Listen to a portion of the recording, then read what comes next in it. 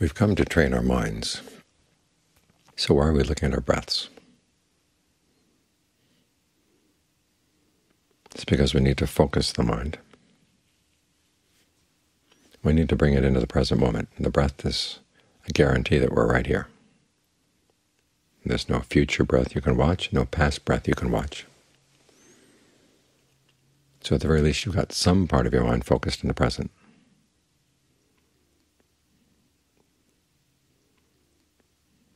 And as you get more and more familiar with staying with the breath, you can get to observe the mind in action. How does it keep itself with the breath? How does it motivate itself?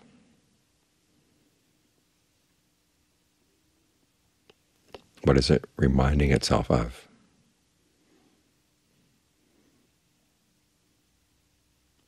These are the activities that we have to look into. These are qualities of the mind that lie behind these activities. And those are the things we want to focus on. When the Buddha set out his major teachings toward the end of his life, when he called the monks together and said, okay, these are the teachings that I want to make sure that you're all on agreement with, all in agreement about. He set out the seven sets that form the wings to awakening.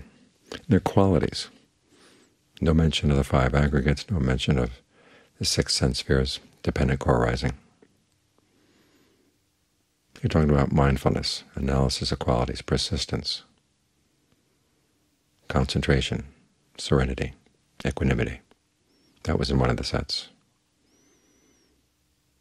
All the sets are sets of qualities.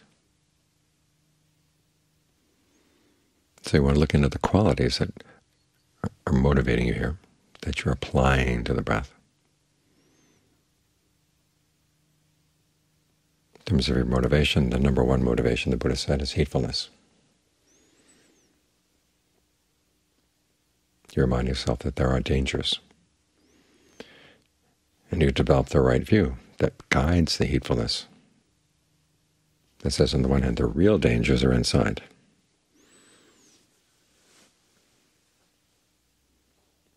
But they can be overcome. If they couldn't be overcome, there'd be no need to be heedful. You just have to accept them as they came.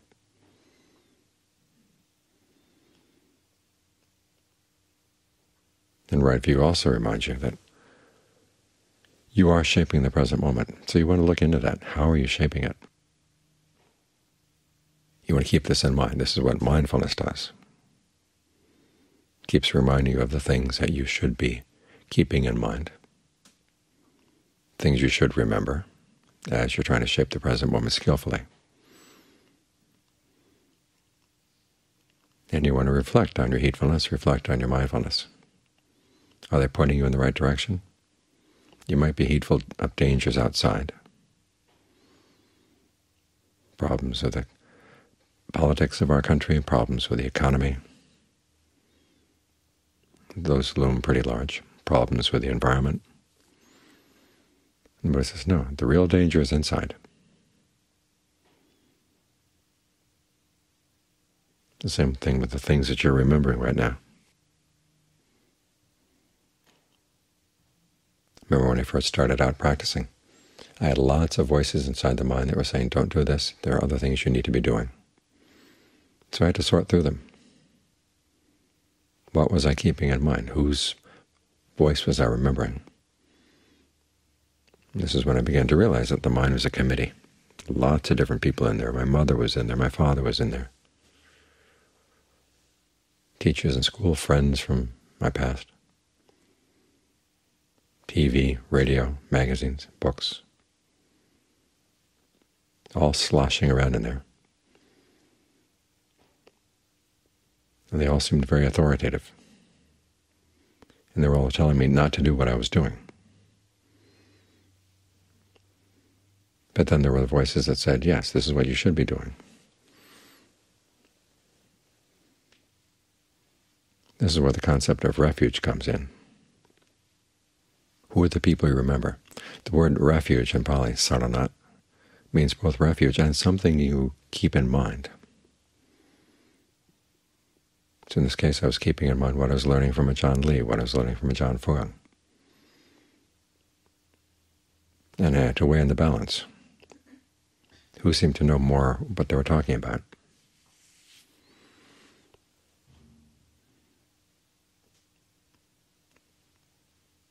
And so I gave some respect to their voices, even though we were going against a lot of ingrained habits that I picked up.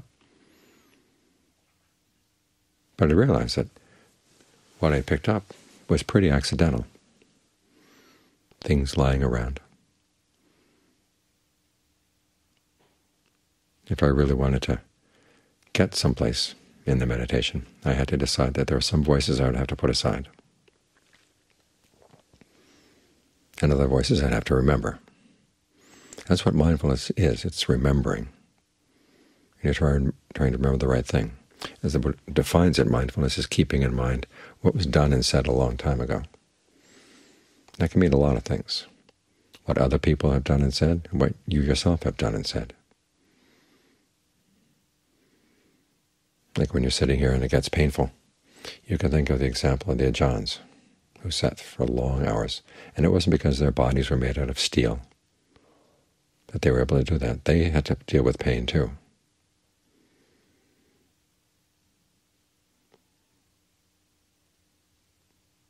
But they learn how to train their minds, not just to bear with the pain, but also to be with the pain and not suffer from it. Their example shows it can be done. There's a case in the canon where a monk is out in the wilderness. It's a big grassy wilderness not the beautiful forest wilderness we like to think about. And he's sick. And he's tempted. Is he going to leave the wilderness to try to find a doctor? But then he says he thinks of the example of the great monks of the past, the great meditators of the past. They were able to cure their illnesses through developing the five strengths, the five faculties, seven factors for awakening. So he kept in mind their example. He said even if they didn't cure their illnesses, at least they were able to cure their minds from the suffering of the illness.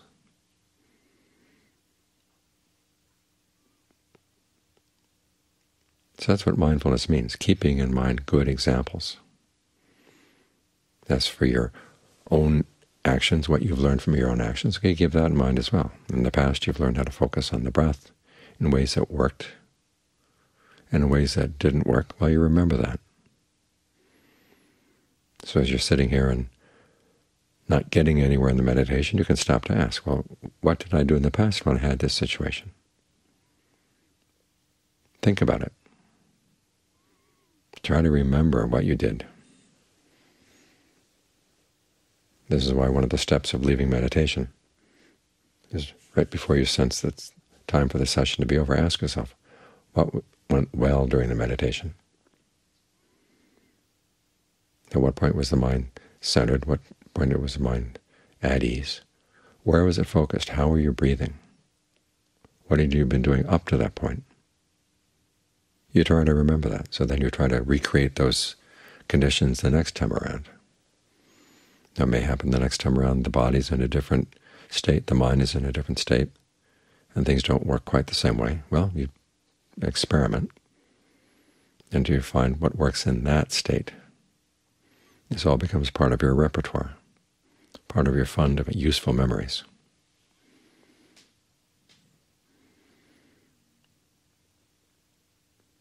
If you find that you're having trouble settling down now, you can also ask yourself, what useless things am I remembering right now?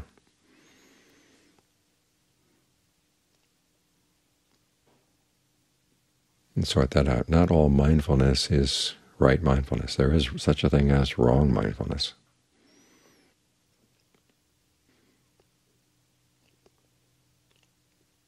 As you're getting the mind to settle down, learn to reflect on what you're doing. If you find that by reflecting it destroys your concentration, it's a sign you're not quite ready for that yet. Go back to the concentration. Give your full attention to the breath.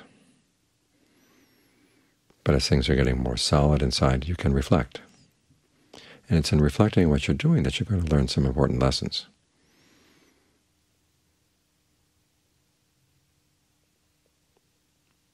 And when you hear about the Buddha saying that insight comes from contemplating the five aggregates or contemplating the six sense media, where are you going to find them? Where are you going to find them? In what the mind is doing right now.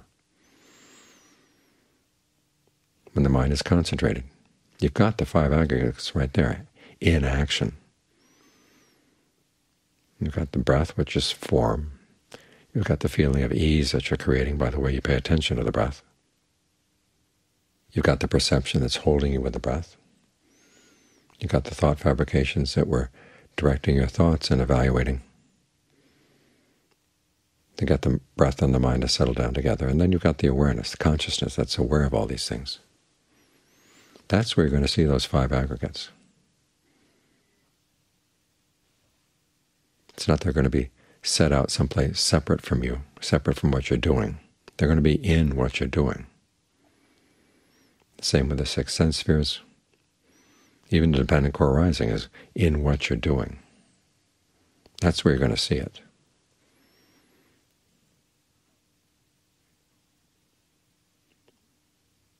So you don't have to look anywhere else. And it's important that you not have the idea that your bare awareness is going to be right here, and then you're going to see these things separate from your bare awareness.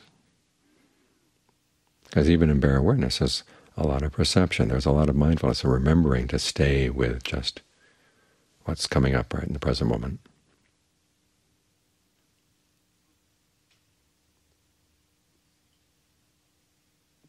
And begin to realize how what seems to be bare awareness is not really bare at all. There's a lot going on. If you try to deny what's going on, you've shut off the opportunities for gaining insight. It's in reflecting on what you're doing. That's when all the various topics of insight come up. So it's in the qualities that you're bringing to this aspect, to this practice here of getting the mind to settle down. That's where you're going to see those wings to awakening, and in the wings to awakening you're going to see things like the aggregates and the sense spheres. So it's all right here. It's simply learning how to be properly reflective about what you're doing.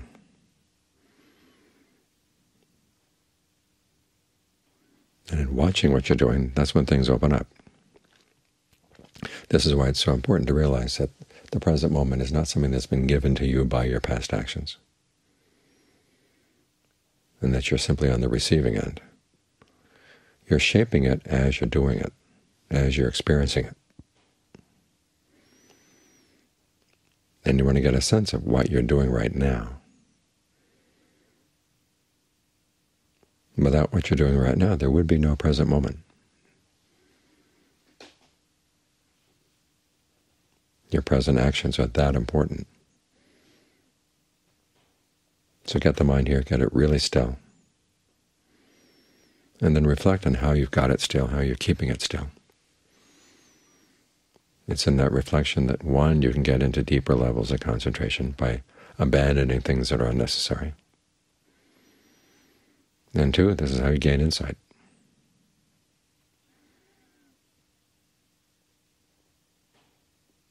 The kind of insight that can free the mind.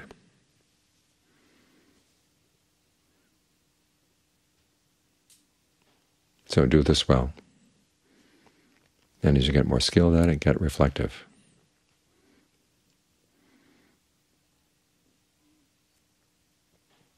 Because everything you need to know is involved in what you're doing right here.